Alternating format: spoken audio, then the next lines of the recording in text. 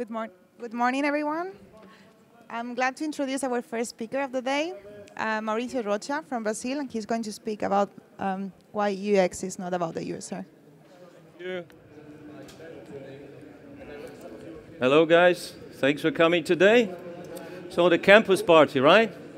Beautiful place. Engineering, um, coding, design, photography, user experience. Yeah, brilliant place. My name is Mauricio Rocha, and I work at Capgemini. Capgemini is a very large organization, 120,000 people over 40 countries. It's one of the biggest consulting, technology, and outsource companies in the world. Before that, I work in large and small organizations such as Sapiens, Endemol, Blue Square, and Visar. And by the way, and the lady already told I'm Brazilian, so nobody's perfect. So somebody has to be. So today I'm going to talk about user experience is not always about the user, right? Of course it isn't. But I hope by the end of my talk today, you're actually going to agree with me on that. So I'd like to talk about, start to talk about the process we go through in building an application. An application could be a website, could be a tablet app or a phone or a TV where you wave your hands these days. Anything you have to build, that's software. So you go through the discovery phase, definition phase, solving, design, I think it's design, yeah, look and feel, yeah, uh, coding, and then testing. So that's a very simplified process, but that's roughly what we go through. And right in the middle, you have the user, right? I hope you take, took into account the user, because if you didn't, they're not going to use your app, and all your efforts will go down the drain. So let's look into detail. Discovery. You go to the business and you find out what's going on and what they want to build, whether they have an existing app or not, about their users, that kind of thing. Then you find out about their users. Who are they? And uh, again, if they have an application, try to find out a bit more about the users. Then you go to the definition stage. User profile, very important. So who are the users? What do they like doing on a weekend? Do they have disposable income? Uh, are they tech savvy? What's their demographic? That kind of stuff. And then user journeys. User journeys are very, very important. And I'll give you an example. If you are on a travel site, let's say me, I've got a family, I want to find a holiday place in the sun. I go straight to the search box, and then I type uh, family holiday in the sun. Hopefully I get some results and I might be interested in. That's one journey. Another journey might be I'm a single uh, guy and I know what I want to do, so I go to uh, maybe I'm looking for a stag party, and you happen to have on a top level menu there a stag enhanced party. So I drill down, go through the menu structure until I find hopefully something I'm interested in. So that's very important. And then obviously information architecture. Once you've been through the discovery phase, you start thinking how you're going to group information together maybe how the menu is going to work in a few pages, that kind of thing. Next one you're going to solve, and that's wireframing. So wireframing is really a visual or graphical representation on how the user interface is going to be like. So perhaps you're going to think about what the search box is going to be, and maybe what the menu is going to be, and the structure, and all the landing pages, the marketing pages, the sign up, all that kind of thing. Then you go into the user interface, which is kind of the same with wireframe, but for me, it's like the wireframe with color. So if you take, for example, you take, for example, uh, an architect, and you hire an architect to actually build your house, design your house. Obviously, you kind of want some color there, so it helps you visualize the system, what you're trying to do. And I think that's important because clients, they like to visualize the system, how the system is going to be like. So I think that's very important. And then interaction design is another one. So today we have many devices. If you have a phone, interact with your finger, tablet with your finger, again, smart TVs maybe, you wave your hand, and perhaps on the web you use a, you know, the pointing device. So you have to leverage the interaction. You know, what's the device uh, provides that the interaction means for the user to actually operate your interface. Then we go into look and feel, support UI functions. So for example, if you have a site or like accounting software, and you just say, look, sign up and no credit card required, have a big button right in the middle of the page. you probably want that button not to be gray and maybe have orange or something like high contrast. So it needs to support the order of prominence on the page. And that's what I mean by this. Branding, of course, is your company is well known, people know about it. Then you obviously want to tap into the heritage because it provides trustworthiness. And attractiveness, well, I think we like to play with beautiful things, right? So if your app looks beautiful, users are more likely to try, you know, to play with it and try harder. So I think that's very important. So code, you know, all your code ninjas there, you know, you actually build the app, right? And then you try to break it and maybe set it on fire. So before I go ahead, I'd like to know who's out there. Who are you? What do you guys do?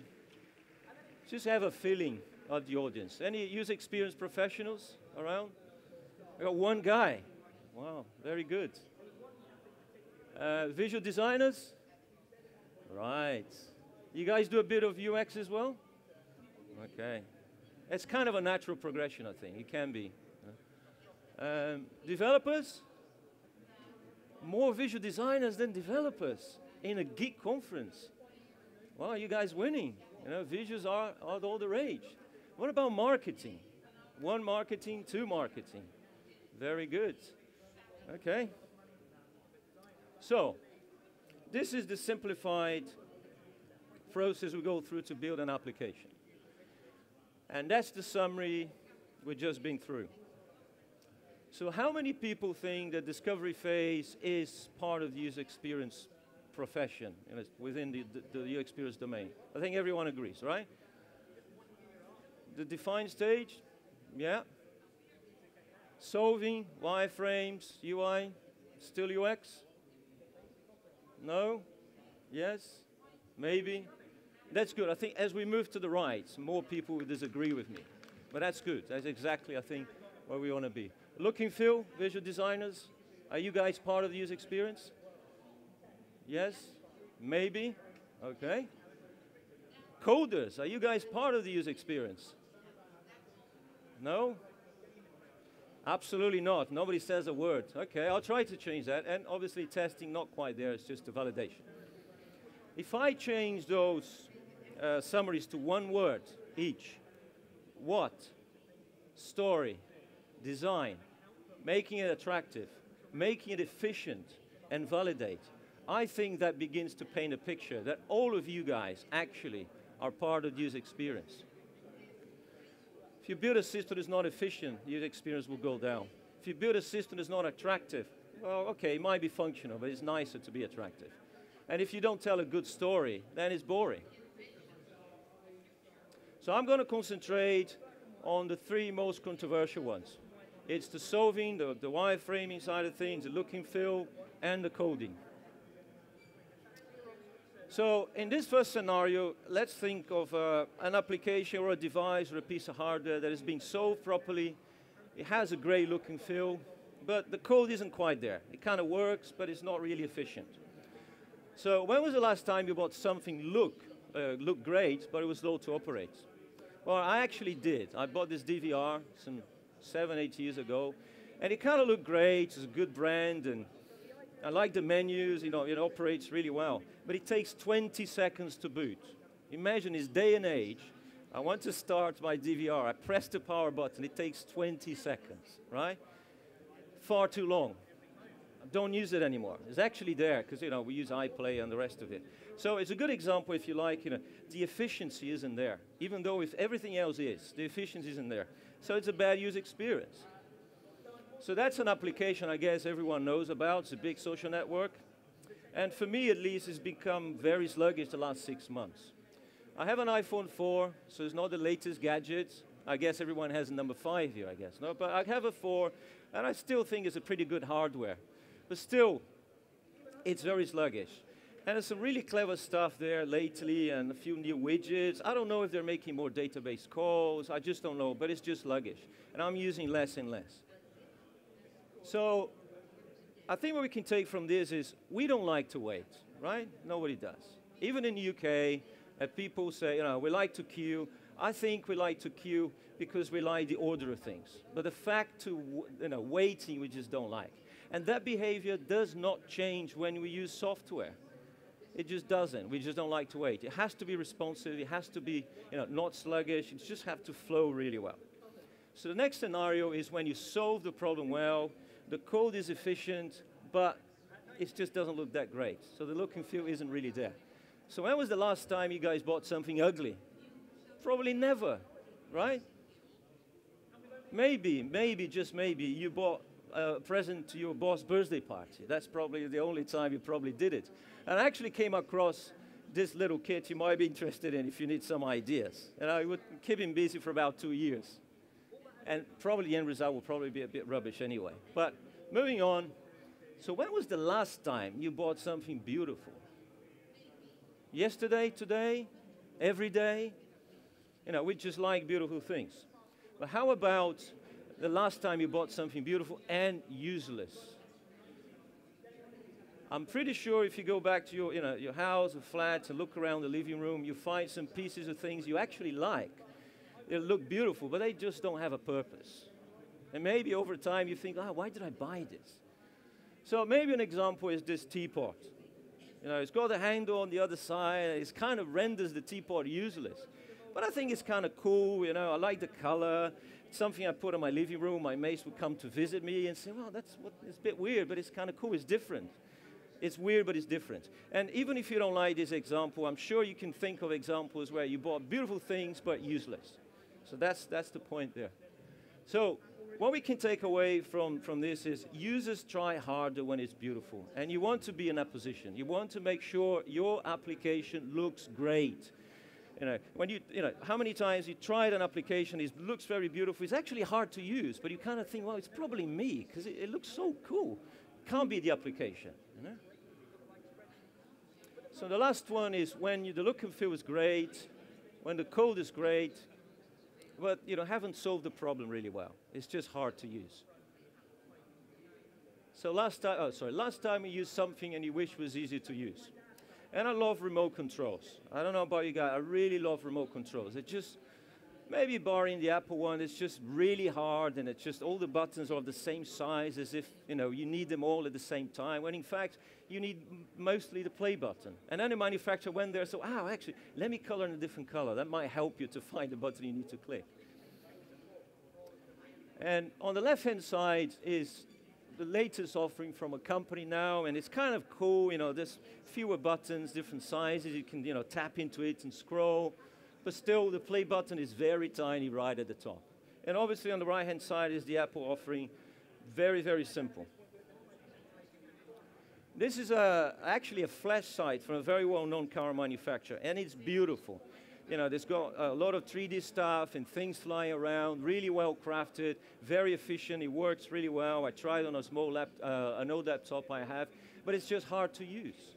Look at the menu there, it's got a whole bunch of numbers. That doesn't tell me anything what is it? So I have to hover my mouse over each of, each of these to find out whether there's anything that I'm actually interested in to see. So the website relies on me to make actions to find out whether they have something I like. So it's not really there. And the last one, this is a home banking application. Uh, I don't know about you guys, but when I use home banking, I want to log into my account, I want to check my balance and maybe pay a few bills. That's all I want to do. I don't want to check ATMs. You know, they're everywhere. I don't want to just a branch. You know, I've, I've used online stuff. So the screen real estate devoted for the task I do 99% of the time. It's probably about 20% to 15%. Granted, it's at the top, it's got a different color, but still, I think you know, the, the, the, the, the, the screen real estate for, for what I do most is just not there. So what we can take away from this is, you know, people don't care about your business, and so they shouldn't. And it's down to you to make them, make it easy for them to do business with you. And that brings me to the new UX domain. So I think I've been through the whole um, application um, process and tried to paint a picture as to why it belongs to UX. So again, discover, define, solve, look and feel, and code. I think that's where we want to be at. On the left-hand side, you have research and definition. And yes, there is a place for research houses where they go and interview users. They might go abroad and you know uh, find out about demographics, user behavior, and they come back and give you a very big and fat report. That's fine and needs to be there.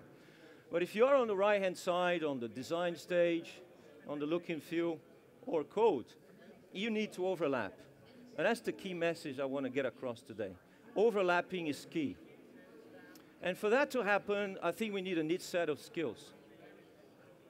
You need to overlap. So if you do, say for the designers in your audience, if you do design, you need to understand a bit of code. You don't need to be a coder. It would be great if you understand a bit more, but just, just, know, just know your constraints. Just know what's possible. Know what the programmers go through and what, you know, what the challenges they face. Not only you gain some respect, but also knowing your constraints, you will design better solutions. Yes, or, or have this person next to you, but still, you know, it pays off if you know a little bit. So overlap is key. And the same for the coder. Sometimes the coder says, no, we're going to do, uh, that's how we're going to go through this, and you know, I don't know, we have this something out of the box. So it's, it's important for the coder to understand why the user experience professional is doing what it's doing to serve the user. So all together in a team, working towards one solution.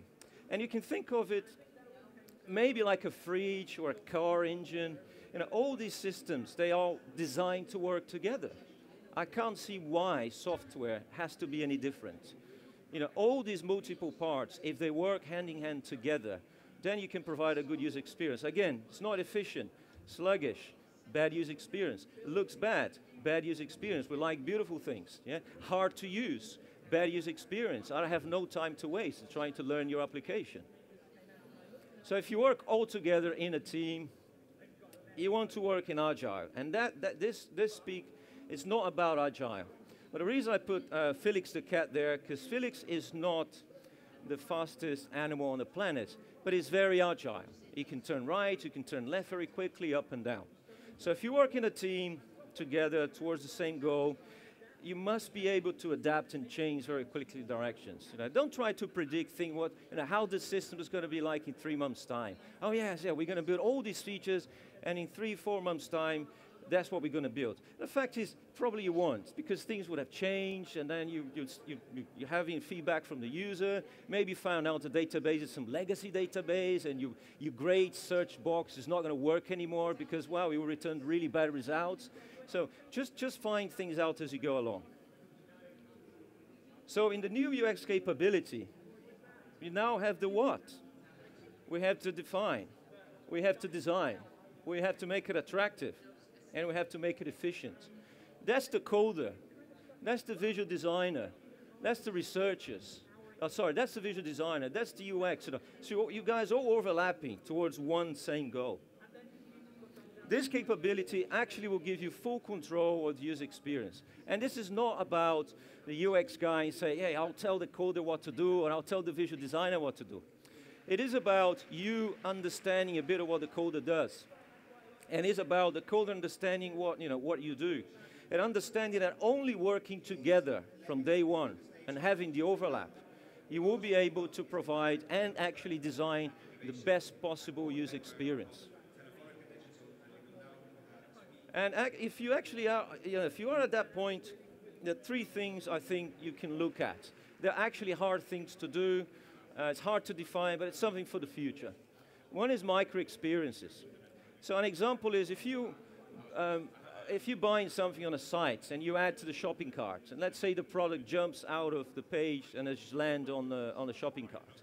That's kind of cool, you know. Yes, it's animation, but it's, it's, it was done to inform you that you actually the, the product went to the shopping cart.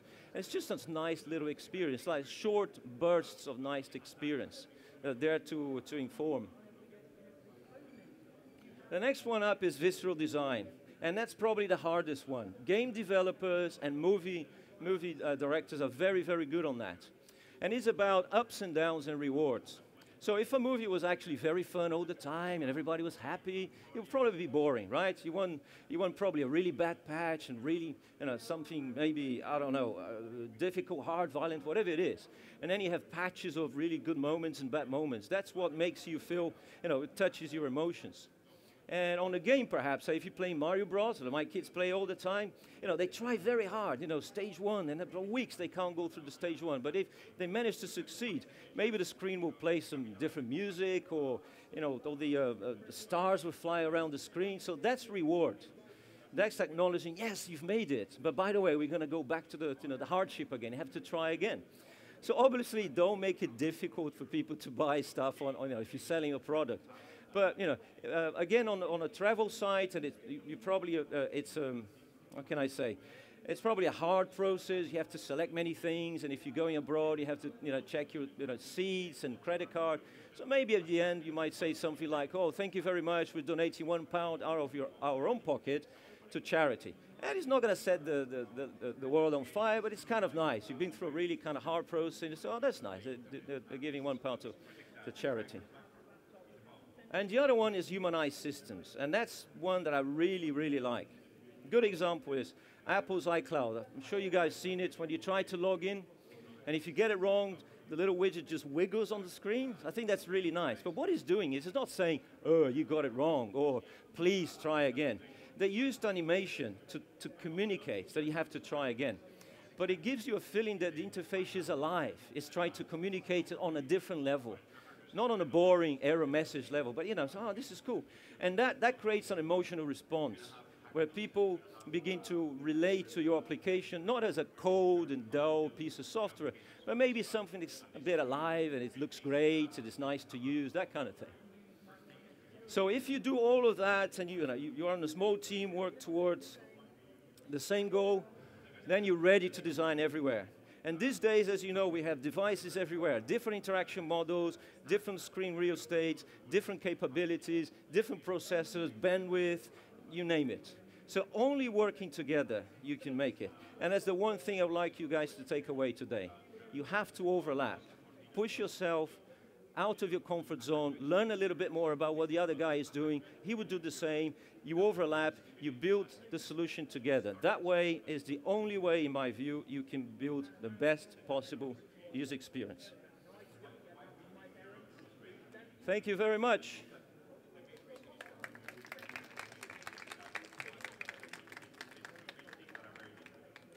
So I think we're going to have some time for questions. Yeah? I'm slightly earlier, but that's good. You guys can ask many questions if you want. Be as, you know, controversial as you can. Let's get some dialogue going. Any points you agree, disagree, like, don't like? I think you need some mic there.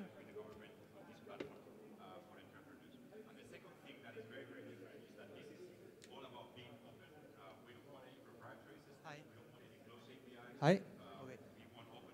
I was wondering how difficult would you say that is to keep the user-friendly experience when you add uh, more complexity to a, a, software or an app or something like so that. Can you repeat the question? So, mm, so yeah.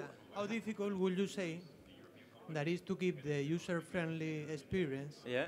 when you add more complexity to the to a software or an app, more functions, and you know. Right. Well, I, I, think you know if, if you do a small system or a large system, I think everything should be broken down into components. And if you've done the user experience process properly, you would have found out, for example, the things you need to address. It needs to have search. It needs to have way to people to buy things. It needs to have means for people to subscribe. It needs to have means for people to maybe to interact. There's some social networking. So that's, that's, these things are not really related to the system at this stage. It's just the things that need to be there.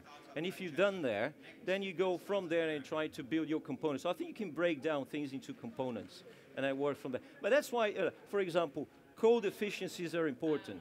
If you started from day one and you code it really well, you thought about scalability you thought about, you know, if this doubles in size, if we need to add more features, you just build for that.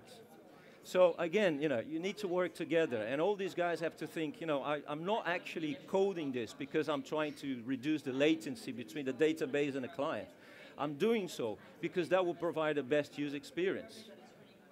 And regarding the, the APP of your bank that you show, the bank APP, um, would you say that it's it's not always good to show the user all the possibilities that the software has? Well, I don't think so. Uh, so I'll give you an idea.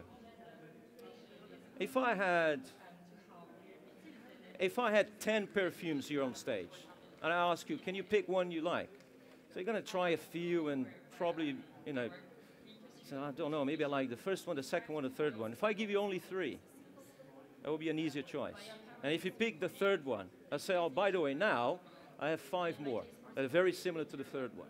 That will help you go through in your decision making.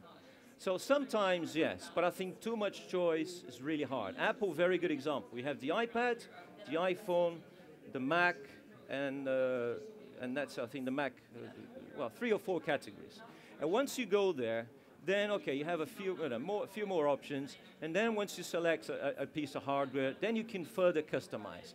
But they take you on a journey, they make it easy. So you could maybe on that app, you could say log into your account or maybe other options. And then if you tap onto that, then you have the other options. Because, uh, well, I think 99% of the time you want to use your banking app to log into your account, right?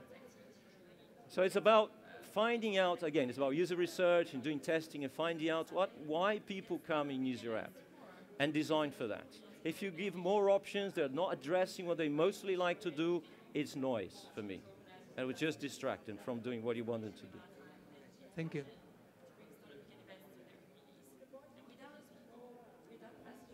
Hi. Um, which do you think is the most important factor in creating good, a good user experience out of the sort of six stages?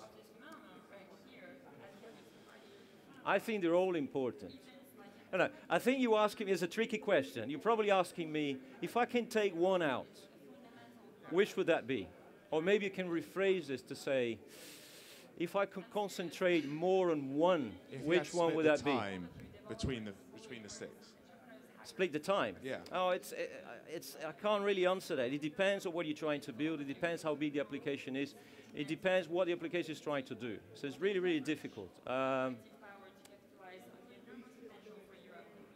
even during projects, when you actually define things and you, you know, start working in a team, as you go through, you discover things like legacy systems or budget changes, that, that kind of stuff. So it's, it, I, I still believe overlapping and working together is key. It's about a mindset. Again, there's a cog, there's an engine on a car. You take a cog out and it just doesn't really work. Yeah? And a, lot of the places I've been, this is very sequential work. There's no overlap and, and maybe the developer would say, oh, you know, this, you know, if I build this, it's going to be really hard. It's going to take me twice as long. If we change that a little bit more, then I'll, you know, I'll be able to make it in half of the time. So that's why working together as one solution is the best. So I, I, I can't say which one. I think they're all important. Yeah. Okay, hello, Peter, Czech Republic. Uh, I would like to ask you about if you think that it can be one-man show Oops. in Yeah. all of these six sections, and the product can be great on the end. Yeah. Uh, I work. I worked in two startups, where well, pretty much was that was the setup. It was good. It was fun. I've learned a lot, but I, I really wish I had more people that worked with me. Because when you are a one-man show, you have to cut corners. Uh, and when you cut corners, you know, the user experience again begins to suffer.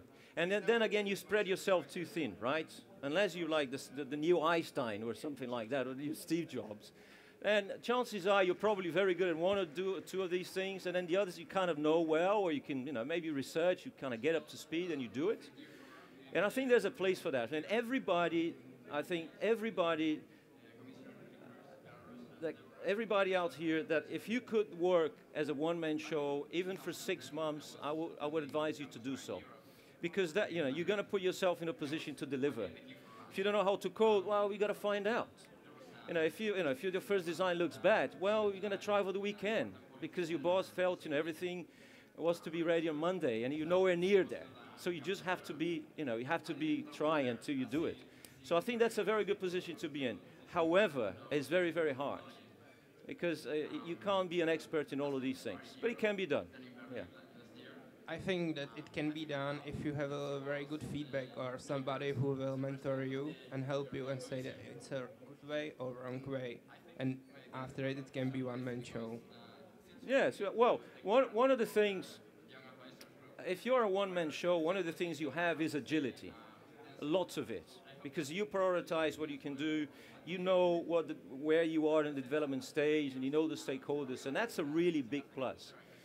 And normally you don't have to go through several layers of management to do that. But having said that, you know, every company, including Capgemini now, even being a very large organization, we work in agile teams. So we have this mentality about user experience. You know, we create teams and we're very agile. We move direction, so we adapt as we go along. Uh, so, but having said that, I think agile is the, the best thing you have on your side. Yeah. It can be done, don't take me wrong. You know, it's really, I, I love the time when I worked in the startups where you really have to make things happen 10, 12 hours a day. I, have been on, on, on, Thursdays where we have deployment at, I think, 11 o'clock in the evening. And my boss had this rave music. And I said, dude, this is crazy. So, well, but it's after 10. We need some music. But, you know, I've learned a lot. Uh, but, you know, I like to be part of the bigger team now. Because obviously I learn from the other people as well. And they learn from me. And we're all, again, we grow as a team and we move up together. Okay, thank you. You're welcome.